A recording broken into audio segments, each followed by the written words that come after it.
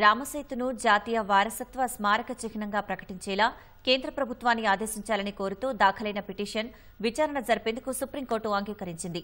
మాజీ ఎంపీ సుబ్రహ్మణ్య స్వామి ఈ పిటిషన్ దాఖలు చేశారు. ప్రధాన న్యాయమూర్తి justice DY Chandrachud justice PS నరసింహలతో కూడిన ధర్మాసనం సుబ్రహ్మణ్య స్వామి పిటిషన్ను పరిగణలోకి తీసుకున్నట్లు తెలిపింది. రామసేతుపై కేంద్రం ఎలాంటి నిర్ణయం తీసుకోనందున తన పిటిషన్ను విచారణ జాబితాలో చేర్చాలని సుబ్రహ్మణ్య స్వామి చేసిన విజ్ఞప్తిని అంగీకరించింది.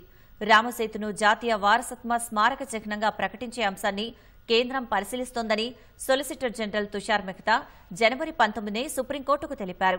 కేంద్ర సాంస్కృతిక మంత్రిత్వ శాఖలో ఆ ప్రక్రియ కొనసాగుతోందని చెప్పారు.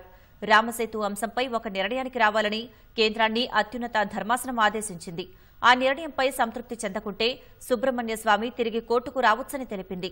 కేంద్రం ఇంకా నిర్ణయం తీసుకోలేదని తాజాగా ఆయన ప్రస్తావించగా విచారణకు ధర్మాసనం అంగీకరించింది.